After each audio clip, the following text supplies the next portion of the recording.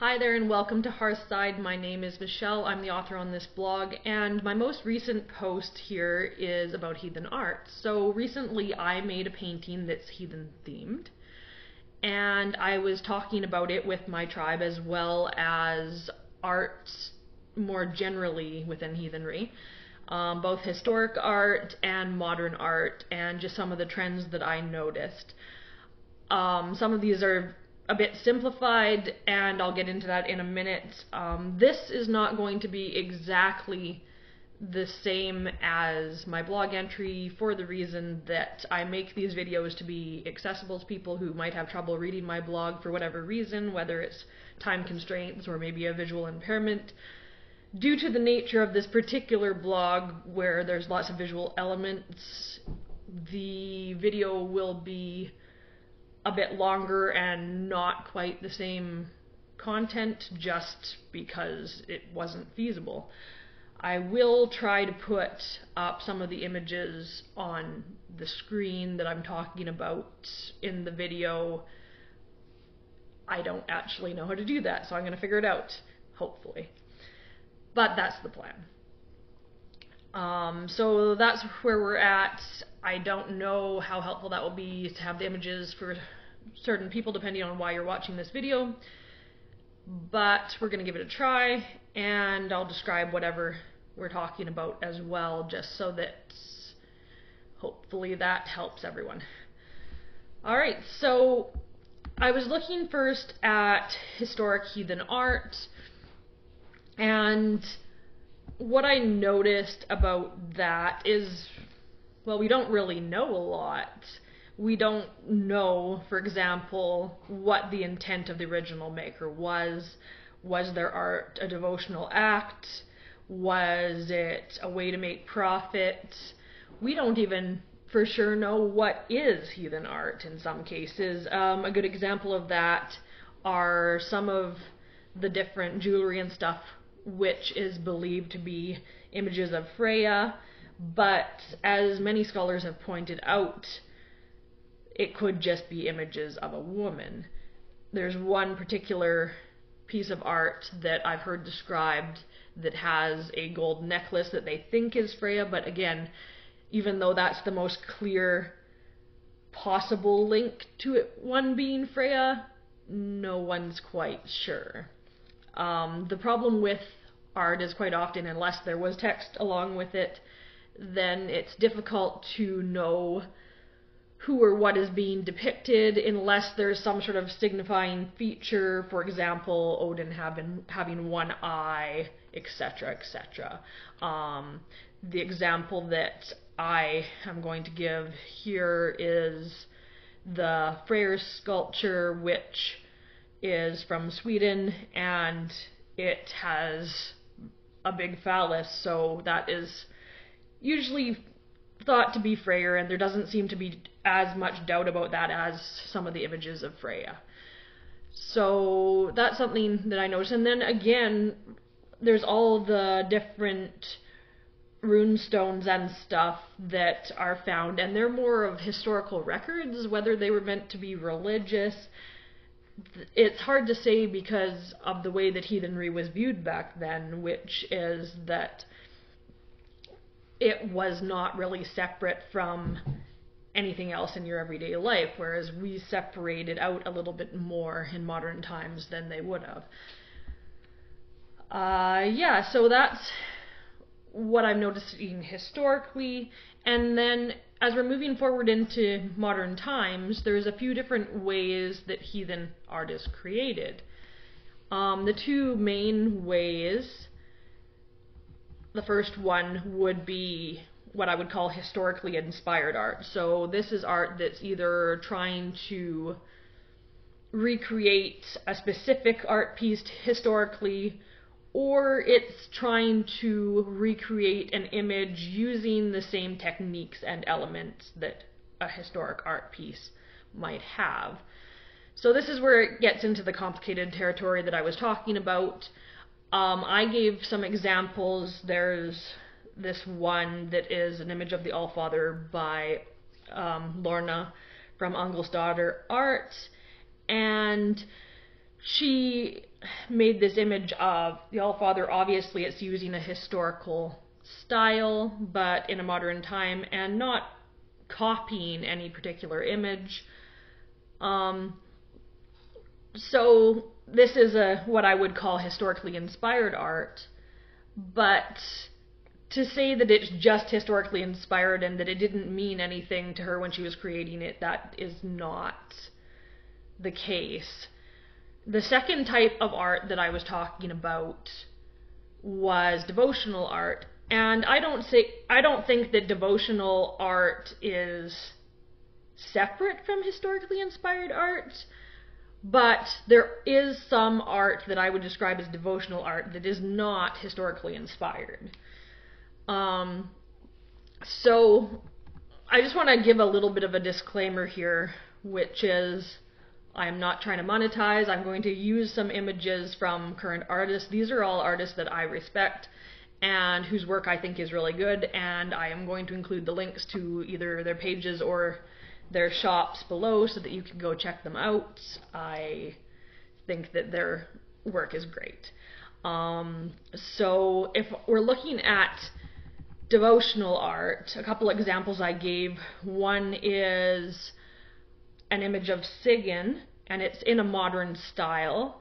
And the artist is a woman named Annette. She's got a Etsy shop that you can check out, and she does a lot of different Norse inspired images that are of single de- deities or a couple deities in one picture. Um, and she doesn't just do the Norse pantheon, also a couple others. But I would co- call that more of a devotional art in that it focuses on a specific character. So what I'm characterizing devotional art is is having either a single deity in it or an image of a story from the lore. Another example that I gave was this image of Sif, which is by Anna Novikova, and again, it's a modern style with the historical deity or the heathen deity, I should say, I guess. I wouldn't consider them historical. Some people would. I'm not sure if Anna Novikova is heathen or not. Um, I don't know a lot about her. She does have a gallery. I don't know where you can buy her art. Otherwise, I would definitely own some of her art already. But I will link the gallery below. So, the devotional art that I'm talking about in this case is modern takes on deities and not historically inspired in the design.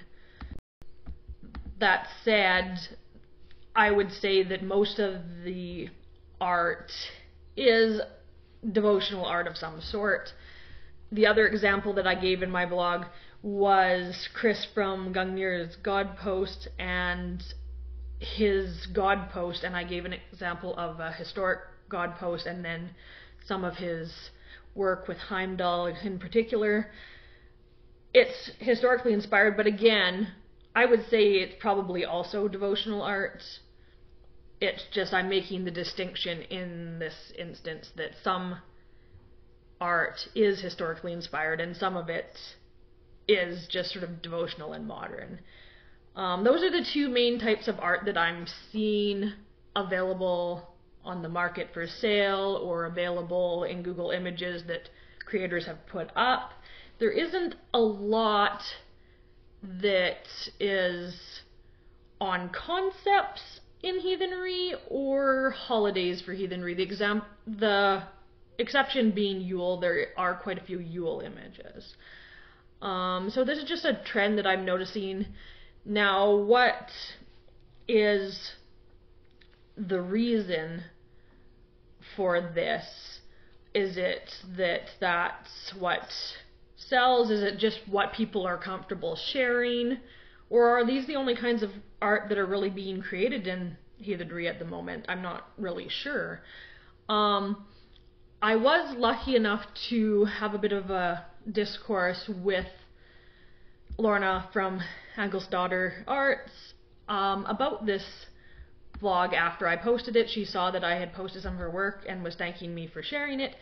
And I was really excited to talk to her because she was talking a little bit about her process with me and what that looked like. Um, so her art, I would describe, is also as devotional, and the same with Chris from Gungnir God Posts, from what I've heard when he's talked at uh, Heathen Women United conference, for example. So their work is devotional. They are heathen or pagan, and um, so that is their inspiration for their art.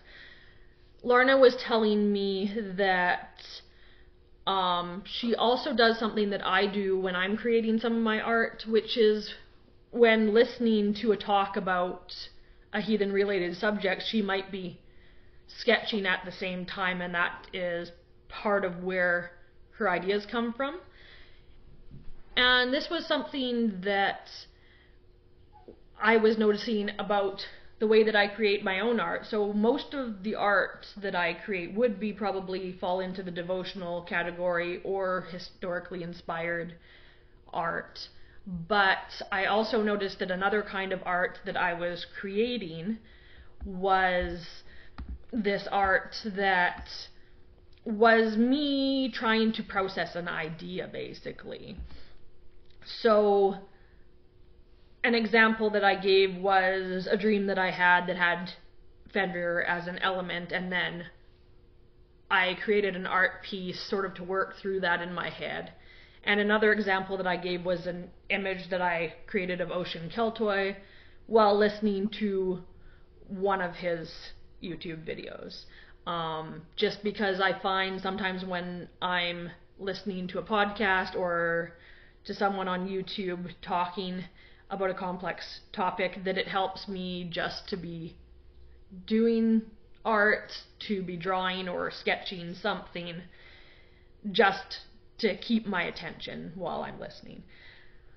Um, it doesn't necessarily mean it will be on the topic of whatever they're discussing. In this case, it was an image of Ocean himself because he was on the screen, and it was a sort of a realism image with also the character that he has from his avatar originally um, in front of it. So semi realistic. It wasn't super detailed. I've definitely done more detailed art in some cases that was realism, but this was just the amount of detail that I put in at that particular time when I was listening to whatever talk. I don't even know which one of his videos this was from, but um, something that I definitely do when there's a complex topic that's being discussed just to help keep me focused while I'm listening and make sure that I'm internalizing some of that and working it through in my head.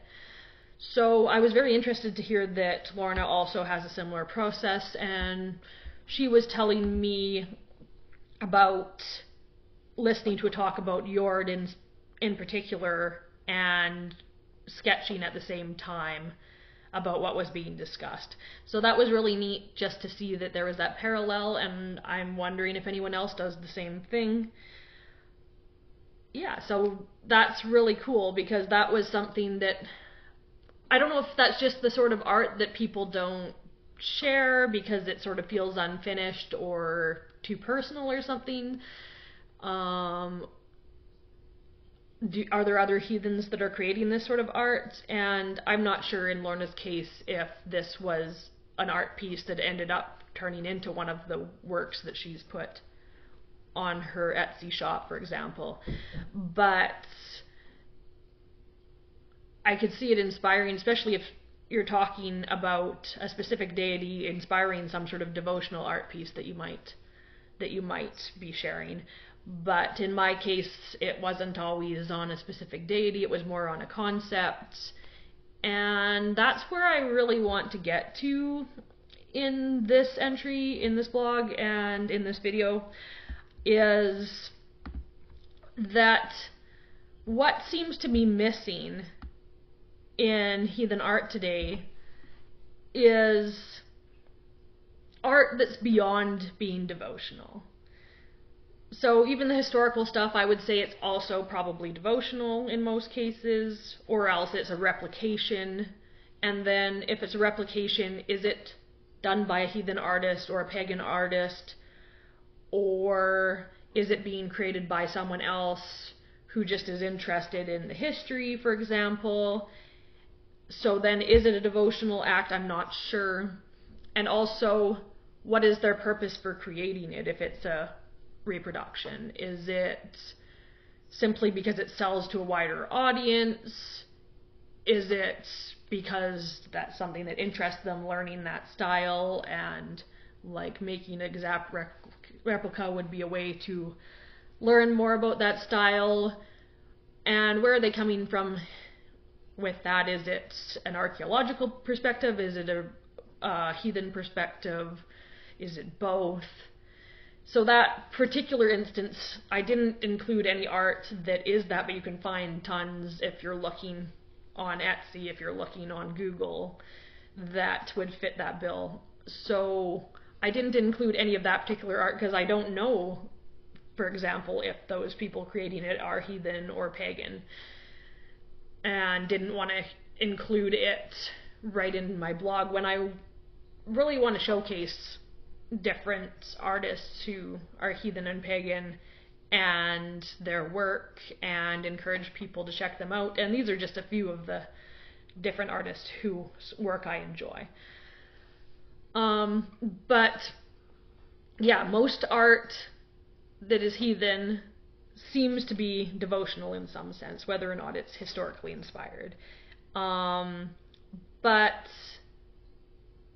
is there a market for art that goes beyond being this devotional art? And why isn't it being created or why isn't it being shared if it is being created?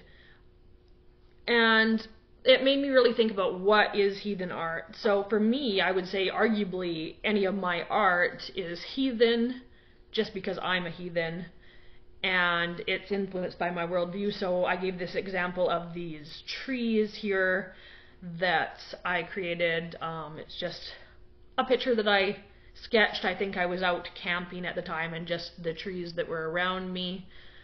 And I would argue that's a heathen piece of art, even though it's not inherently heathen if you just look at it, like anyone could relate to a picture about trees. But it was inspired by my worldview and my relationship with the natural world. Um, so,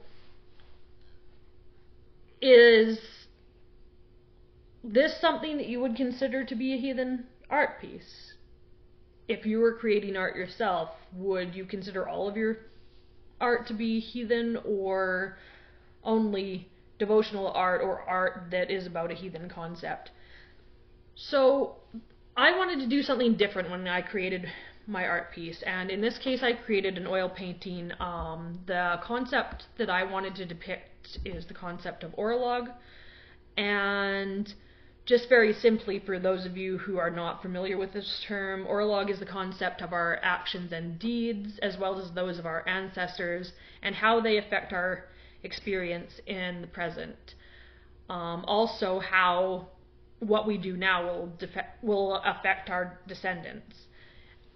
Um, and what interests me and that I was showing in my painting is that orlog is not just personal. It's also there's also orlog at the community level, and I sh- was showing this by having the trees in my painting. So there's three trees in my painting, and each one has a face. And when I think about trees, I think about their mycelium networks, which are where the roots join and they can communicate with each other this way. So, to me, the roots are also what connect communities and the ties that we have, the frith bonds, and the shared history. So it made sense to me to depict people as trees for the concept of orlog.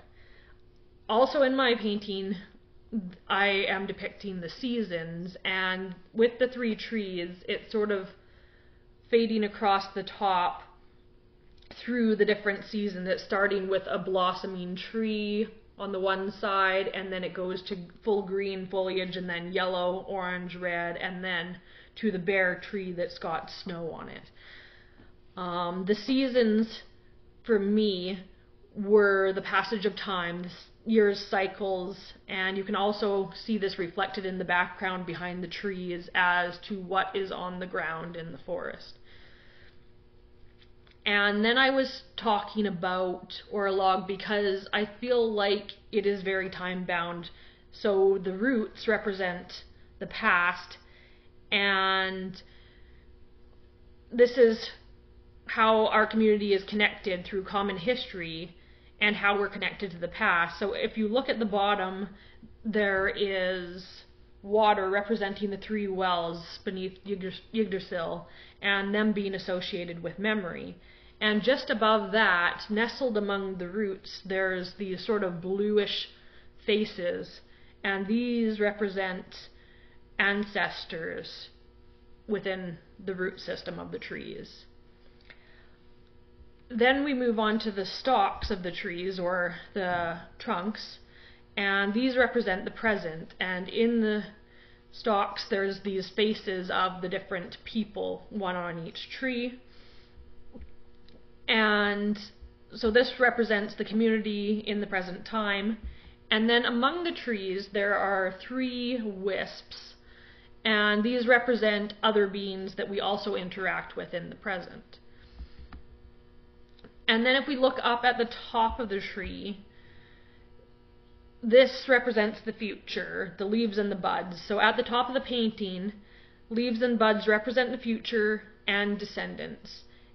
Around the center tree, there are fireflies flying, and these represent hopes and aspirations for the future. But of course, we cannot know the future uh, ourselves or fully influence it. So we're just trying to live our best lives in the present to make the future more promising.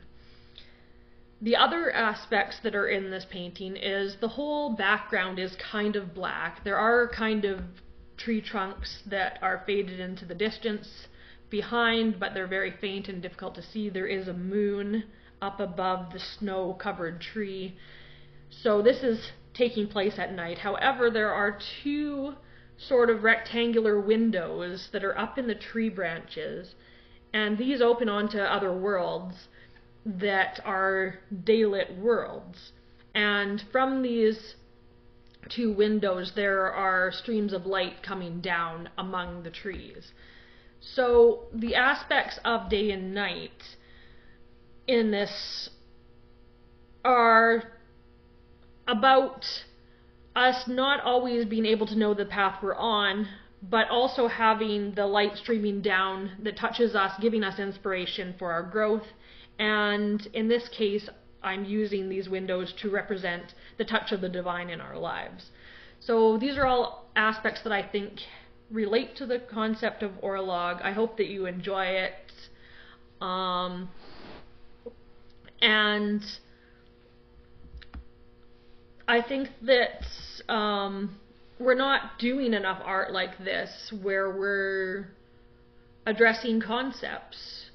And what I was discussing in my blog about this is when I'm creating a blog, I always try to find an image to put on my blog, and I try not to use other artists' work because it's not really fair that I'm using their work. I my blog is not monetized, neither is my YouTube. I'm just doing this because this is the content that I want to see um, and I wanted to create more uh, female-driven content that's heathen. But I am not monetizing this, so I can't really use other people's art and then give them a share of my profit or whatever because I'm not making one. And I don't want to assume that I can use people's art and it's I'm usually posting things rather quickly, so waiting for permission is difficult too. Um, so usually I try to steer away from using any modern heathen art in any of my blogs. I either try to use like photographs that sort of represent the concept or um, art that is from different historical retellings of the lore that is past the copyright if it ever had one.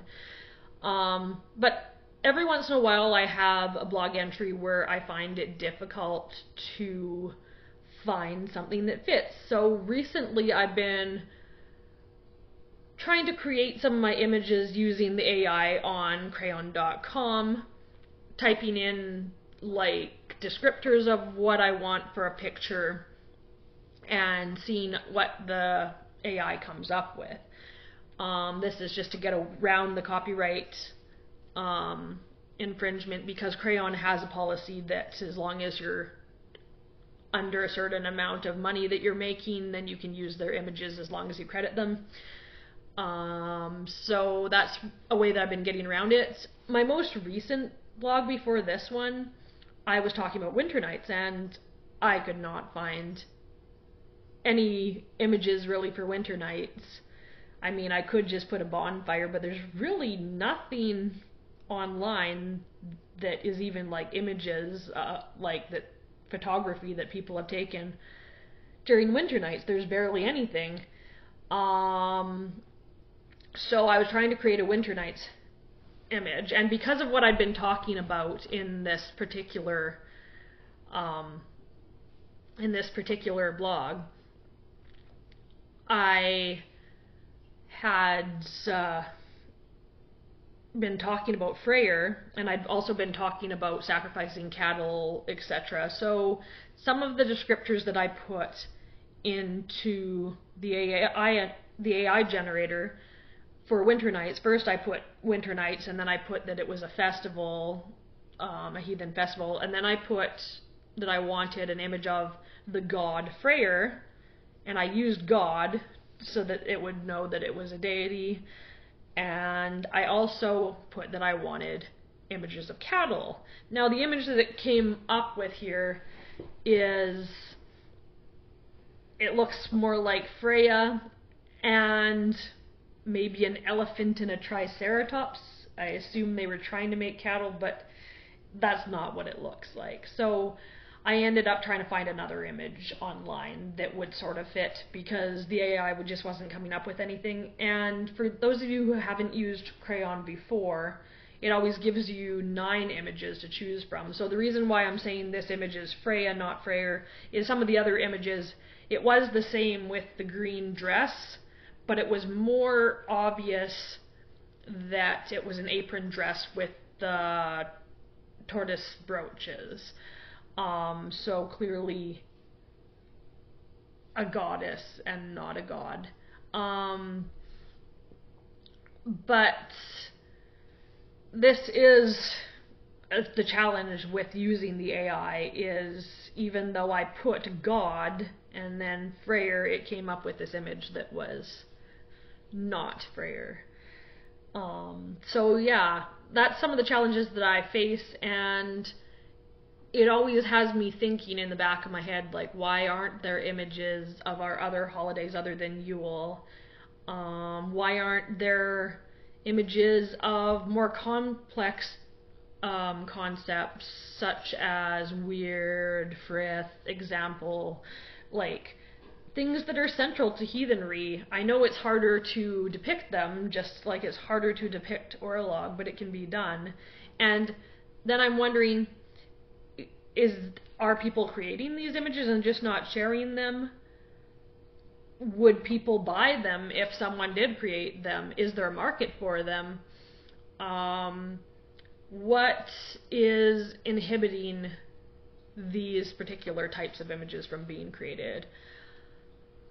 So those are the things that I've been thinking about uh, mostly when I was discussing this and yeah, just I would love to hear your guys' comments as well. You can share them here on YouTube um, or on my Instagram or Facebook. I don't have comments turned on on my blog because I get some weird comments and I try to steer them onto my social media just so that it's a little bit easier for moderation.